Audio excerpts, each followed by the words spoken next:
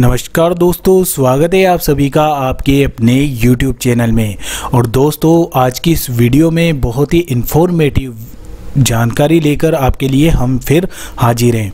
दोस्तों, आप सभी लोग जानते हैं कि दाल हमारे स्वास्थ्य को ठीक रखने के हिसाब से कितनी ज़्यादा महत्वपूर्ण होती है। जी हाँ दोस्तों, सभी दालों में प्रोटीन बहुत ही ज़्यादा मात्रा में पाया जाता है। दोस्तों, आज की इस वीडियो में हम आपको मूंग दाल के ऐसे घटक बताने वाले हैं, ऐसे फ़ायदे बताने वाले हैं, जो शायद आज से पहले आपने नहीं सुने होंगे। जी हाँ दोस्तों, एक हेल्थ की जानकारी होने के लिए मूंग की दाल की जानकारी भी आपको होना काफ़ी ज़रूरी है। इसकी ऐसी ऐसी विशेष बातें आज की इस वीडियो में आपको बताई जा रही है जो शायद आपने नहीं सुनी होगी।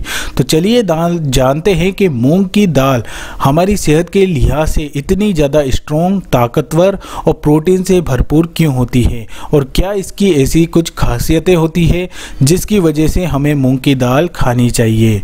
दोस्तों, सबसे पहले मूंग की दाल का इंट्रोडक्शन थोड़ा सा दे देते हैं।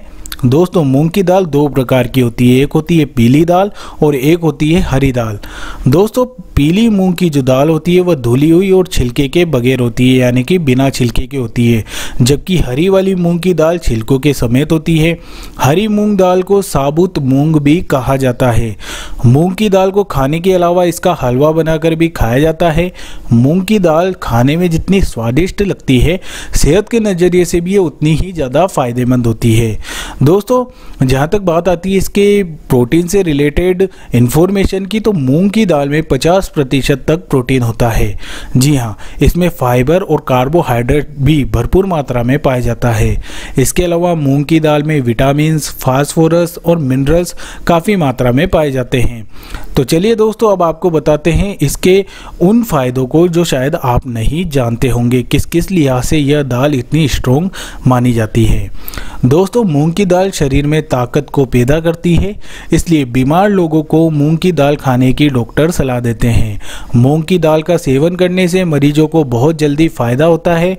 अगर कोई व्यक्ति आयरन की कमी से जूझ रहा है, यानी कि उसको आयरन की कमी हो गई है तो उसे अपने भोजन में मूंग की दाल को ज़रूर शामिल करना चाहिए, क्योंकि यह शरीर की कमज़ोरी को दूर करता है और शरीर को हष्ट पुष्ट बनाता है।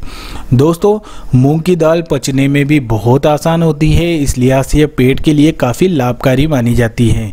जी हाँ कब्ज की समस्या से परेशान हुए लोगों को मूंग की दाल में बनी खिचड़ी ज़रूर खानी चाहिए, इससे पेट उनका सही रहेगा।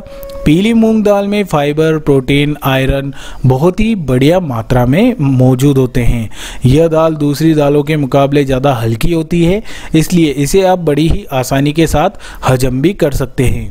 दोस्तों, मूंग की दाल का पाउडर पानी में मिलाकर मालिश करें।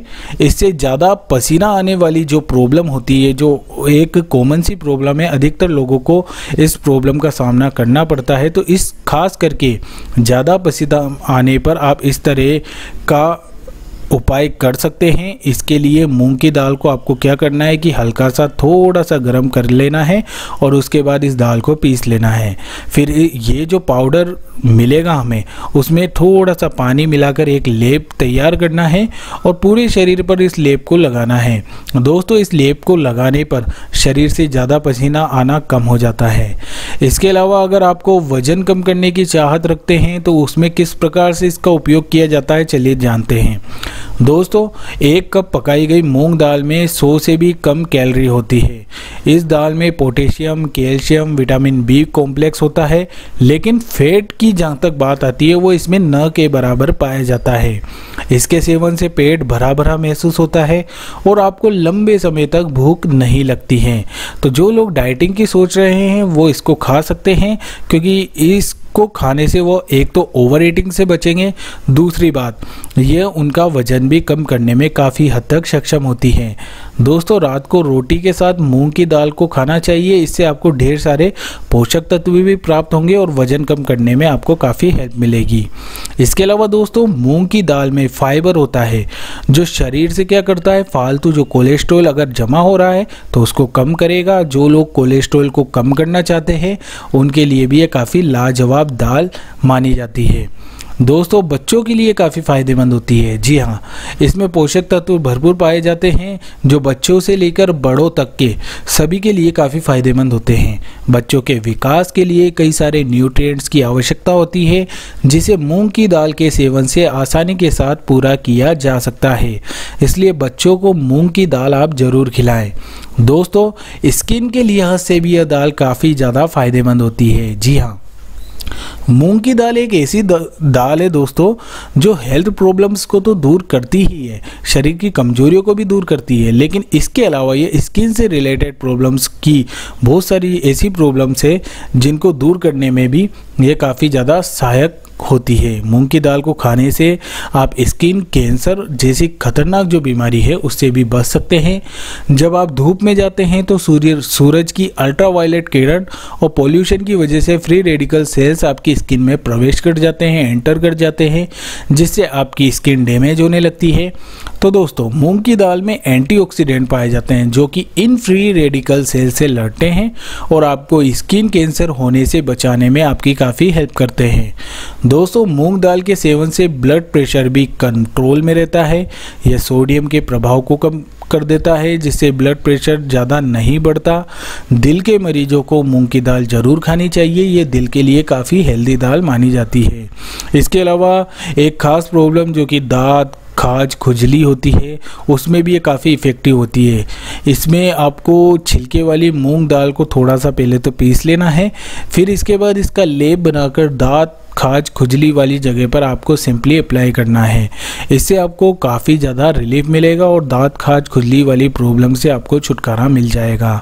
तो दोस्तों, देखा आपने ना सिर्फ़ हेल्थ के लिहाज से, कितने प्रकार के इससे नुस्खे भी हम कर सकते हैं और कितनी प्रकार की प्रॉब्लम्स को मूंग की दाल हमसे दूर करती है और हमारे शरीर को स्वस्थ और तंदुरुस्त बनाकर रखती है।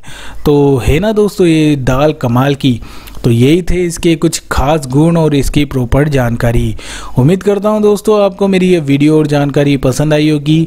अगर वीडियो अच्छी लगती है दोस्तों आपको तो इस वीडियो को लाइक करें और लोगों को भी शेयर करें जिनको मूंग की दाल की प्रॉपर जानकारी चाहिए होती है, ताकि वो भी इस जानकारी को सुन पाए और उनको जिन जानकारी की ज़रूरत है, उसको वो पूरा कर पाएँ। तो दोस्तों, यही थी हमारी आज की जानकारी। वीडियो को लाइक कर दीजिए शेयर कर दीजिए और अगर आप लोग नए हैं तो चैनल को सब्सक्राइब करके बेल आइकन को ज़रूर दबा दीजिए। धन्यवाद दोस्तों।